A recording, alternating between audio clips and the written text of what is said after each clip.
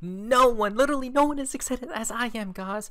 The first thought that came to my mind was OMG when I seen this a couple hours ago. From Whale Alert, a billion USDT minted at Tether Treasury today, guys. And there we go. Why? Paolo the Legend returns, right? When they print, when they start printing again, guys, and minting fake um fake USDTs out of thin air, you guys already know what that means, right? Fake supply, guys, means we go high, higher. Now going straight into into Ethereum and altcoins, guys. Exactly, right? That seems to be that seems to be the case because uh, meaning that this amount will be used as liquidity to pump the market ahead of the ETF news, right? So I'm guessing they're getting prepared already, guys, and the bears are about to, I don't know, go back into hibernation mode here soon, right? Um, the bears have been scared for so long now, guys. I mean, they probably have trauma by now because, look at this. It seems like even Circle, guys, 250 million USDC minted at USDC Treasury. You just can't make this stuff up, guys. Now remember, even if a portion of this goes into altcoins, we're going to be flying, guys. Right? Literally flying.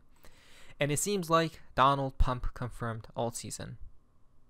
Not Donald Trump, guys, because Donald Donald Pump is now pro crypto. Why? Not just pro cryptocurrencies, guys, but pro altcoins. This is the craziest thing I've ever seen, guys. Justin, Donald Trump's presidential campaign officially accepts Bitcoin and crypto, guys. You can't make this stuff up, right? So basically, Donald J. Trump over here, guys, um, let's see here, now accepting crypto demonstrating President Trump's success as a champion of American freedom and innovation. We proudly offer you a chance to contribute to the campaign with cryptocurrency. Saving our nation from Biden's failures uh, requires your support as Biden piles regulations and red tape on all of us. President Donald Pump um, stands ready to embrace new technologies that will make, you know, um, America leapfrog again, basically, right? And, and and this is the most important piece to this whole puzzle. Now, he could have just accept Bitcoin, okay? He could have just accept Bitcoin, guys. But this is what's awfully strange to me. Nobody else will say this except us. Instead, he included Bitcoin, Ethereum, Solana, USDC, XRP. Whoa, XRP? Hold on a minute, folks. Confirmed once again from the Redditors, huh?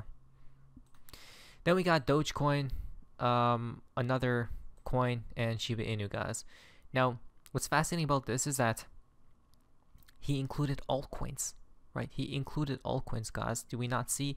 Which means alt season is here. It literally is here, guys. Right? We don't have to wait any longer. This is what's fascinating. What's even more fascinating is this is happening before, or I guess he came about with he came uh, with this type of news around the ETF approval right? Donate now, and you, and you guys can see all that stuff, guys. Fascinating numbers as well, right? Why would he choose these numbers? Um, but but this is definitely interesting, guys. Right? Oh wow! Look, look, look at the phone, guys. Right? That's insane. I can't believe XRP is right there, guys. That's so beautiful. Right? One, two, three, four, five, six. Now, it's interesting, interesting, interesting. Okay, so that's definitely huge news, right? Most definitely huge news.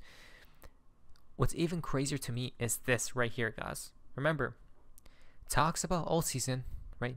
They are accepting altcoins just perfectly, right? It's all timed perfectly. You can't make this stuff up, guys. They, they do time it correctly because things can escalate quickly, guys, from tech dev. The fractal, this is excluding the top 10, guys, right? This, so this is all S coins, meme coins, crazy coins, de de uh, degenerate coins, guys. And basically, this was um from the previous cycle, or no, the 2017 cycle, guys. Wow, that's insane. Interesting. We're getting confirmed again, guys. That's what I think. I think the cycle hits is like more so similar towards 2016, right? 2017. Because look at this. We had a we so we broke out right of this um cup or rounding bottom, guys. We broke out. We held support, right, and we blasted off, and we came back down, right, to retest, guys. And then we just flew out of there right? So what if we what if we do this uh, something similar, right? So we pump like this, guys. Something crazy, right? But then we come all the way back down, right? Like that. this part is probably the black swan event, guys, and then head towards 2026 like that, right? Crazy trillions upon trillions of evaluation, guys. So things are about to go crazy, it seems, as I'm super excited. Let's go, right? Remember, this is all happening as soon as the charts look like they want to explode higher, right? So Ash Crypto comes about. My targets for the next 12 to 14 months. He's talking about crazy uh, prices except for XRP, three to five dollars.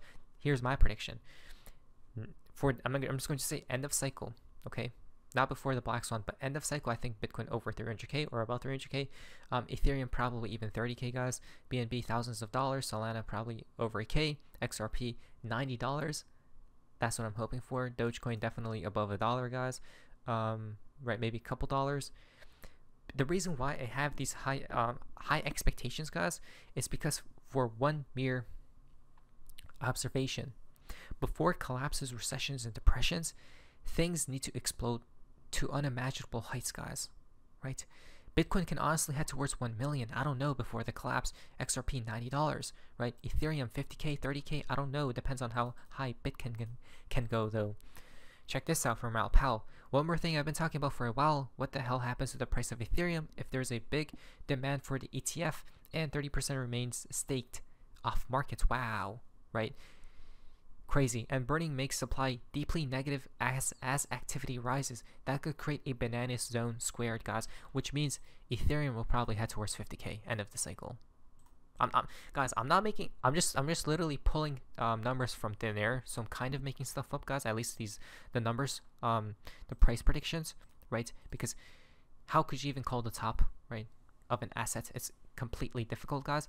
But the reason why I have these high price targets, it's because of one simple fact. Again, it's I believe the collapse happens after the cycle, which means one thing: these crypto prices will probably have to go diabolical, guys. Right? To crazy heights, crazy euphoria and everything, guys. Now, which which means people are going to get lured in. Everyone will, right? The Penguins, room for growth. Even they're stating it. A modest rally with the peak still ahead, guys. Right now, um, it's it's likely it, it likely it likely repeats its mid-cycle correction with the two to three zone akin to previous cycles. Mid-cycle correction, huh? Price prices have room to grow, and a cycle peak for this bull run is further out they're stating it as well, guys, further out, right? I'm thinking end of 2025, maybe in 2026, guys. The behind the scenes conversations they don't want you to hear. Institutional adoption of crypto is happening faster than anticipated, guys, right? That's what I'm saying.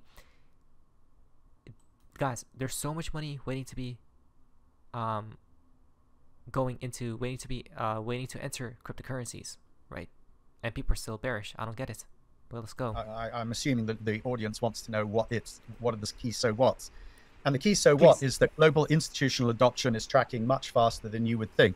If you read the press, you would think blockchain and crypto, these people that have created things like Bitcoin and Ethereum, and they're building DeFi and NFT platforms and other things. And you would believe, if you read the press, that the big asset managers don't need it and aren't involved. They are. Of the top 50, 52% of them, that's more than half, have a digital wallet or some digital uh, custody or digital trading offering already in place. That includes every Chinese large bank because they needed their digital wallet support to support ECNY, which the digital yuan, and so on. 42% of them can already offer you and handle digital monies, which includes CBDCs like ECNY that I just mentioned, but it also includes stablecoins, for example, a Tether or a Circle. And about a third of them are also beginning to get involved in digital assets or digital commodities, which includes the Bitcoin ETF. So the BlackRocks and the Fidelities of the world have already launched their uh, Bitcoin spot ETFs. But there's a whole world of other people, including people with names like Goldman Sachs and Citibank and JP Morgan, who may be saying they're very anti the space, but in practice, they're very actively involved underneath the surface of the BlackRock, IBITS, or ETF. So again, they may be saying I'm JP Morgan and we don't really need any of this. But the truth is, JP Morgan or Goldman Sachs or Citibank is actually building a business right now that's built on top of distributed ledger technology or Bitcoin and blockchain and other things.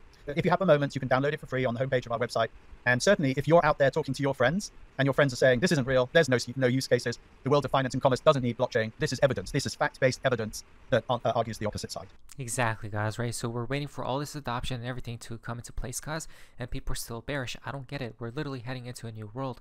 Not to mention, Justin, President, uh, presidential candidate uh, Robert F. Kennedy Jr. buys 24,000 worth of GameStop GME and says he supports the retail rebellion, guys, right? Which you guys already know the the standard of this right here, right, of people going against them is literally Bitcoin and or cryptocurrencies as a whole. Which means this is another narrative for cryptos to skyrocket, guys, right? It, it, it's the most simplest thing ever. Now, people will say, oh, the Ethereum ETF, uh, what's that going to do? Well, check this out. Anticipated ETH ETF will trigger bullish trend for Ethereum, guys. Right? Nobody else is ready. In 2024, the cryptocurrency markets are expected to outperform broader equity markets. Right? Exactly. Cryptocurrencies will literally eat all stocks and everything, guys. Anticipated for launch. Anticipated Ethereum ETF will trigger a bullish trend for Ethereum. Ethereum's liquid staking, currently the ecosystem's strongest narrative, is expected to gain substantial traction. Exactly. Why? Because you see all this money you see all this money pouring into Bitcoin, guys, right? BlackRock buys 4,000 uh, Bitcoin. Second wave is happening, guys, just recently. Well, the same thing is going to be happening with Ethereum as soon as it, get, it gets approved, guys. And it's going to literally blast off into outer space and to the next dimension. VanEck Spot, this just happened. VanEck Spot Ethereum ETF has been listed on the DTCC uh, under ticker ETHV, guys. Right, there we go. Then Ethereum ETF applicants submitted amended 19B4s so it's happening, it seems like. Standard Chartered Bank says it expects SEC to approve spot Ethereum ETF this week. Let's go, please. And guess what? They are 812 billion, um, right? 812 billion, guys. And it also expects a net inflow of up to 45 billion in the first year, with Ethereum reaching thousand dollars by year. And I'm, I'm I'm falling off my chair. My my price target was 7k, guys. They upped me. They're saying 8k. What? Before the Black Swan. I don't know, but this thing is about to go uh, explosive. The Ethereum ETF is not priced in, folks. Exactly. The same people are, I've been seeing on Twitter, oh, it's priced in everything. No, it's not. Wall Street needs the ETH, Ethereum uh, ETF product in order to buy Ethereum. Exactly. Check this out now. And, and that um, ignites alt season. Remember, a catalyst, and this this right here. Not to mention, um, I was gonna say something, huh? I forgot. Is that, hmm. I forgot, guys. But if they could buy Ethereum already, they would have not need an ETF. They cannot buy yet because no ETF. Oh, oh, this I remember. It's buy the rumor and then you want to buy the news event, guys. Right? It's a rare event that happens one in in hundreds of years or like a thousand, guys. It's a law. It's a ra- very rare, rare, rare event. Same thing happened with Bitcoin. Now it's about to happen with Ethereum, which will trickle down to giving the green light to every altcoin out there. The reason for the Ethereum ETF is because there's massive demand same playbook as a Bitcoin ETF exactly, right? And nobody else sees it. Nobody else sees it, guys. Um, SEC informs exchanges it is leaning towards approving spot Ethereum ETFs, guys, right? And Fidelity Files um, removes they remove staking as well. It, it, seems staking seems to be the last obstacle, and it's going to get approved, guys. So they're trying to figure that stuff out. But Ethereum just flipped two massive companies, right? And Altcoin literally did this. Imagine all our other other coins soon, guys. I'm super excited. I can't wait alt season is literally here in probably a couple days, guys. Right? Hopefully it, it, it, gets approved. It seems like Donald Trump is on our side as well. Things are going. The banks are on our side, guys. It's, it's, I'm super excited. It's about to get pretty crazy. Let's go. What is guys? Sophia Smith See ya.